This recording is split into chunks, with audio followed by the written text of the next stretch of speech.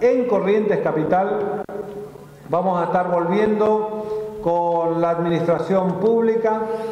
pero esencialmente para brindar servicios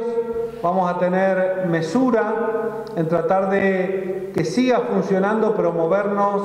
lo menos posible para que podamos tener un número de contagio menor y que por nosotros esta semana que podamos tener el máximo de los cuidados porque están dando efectos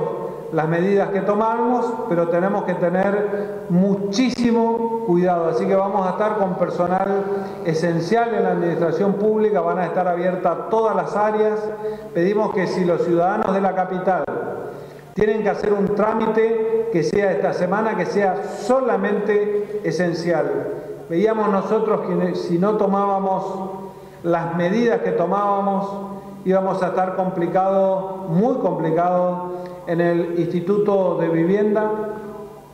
íbamos a estar muy complicados en la Subsecretaría de Desarrollo Social, íbamos a estar complicados en la gobernación, tenemos otras áreas, en salud pública,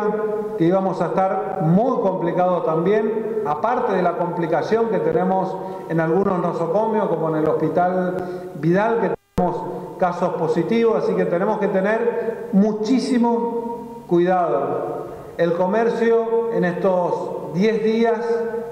ha sufrido y bastante, pero recomendamos tener el máximo de los cuidados, salir de nuestras casas lo menos posible, tratar de tener un abastecimiento de manera que nos permita estar en nuestro domicilio y permanecer el menor tiempo posible en la calle.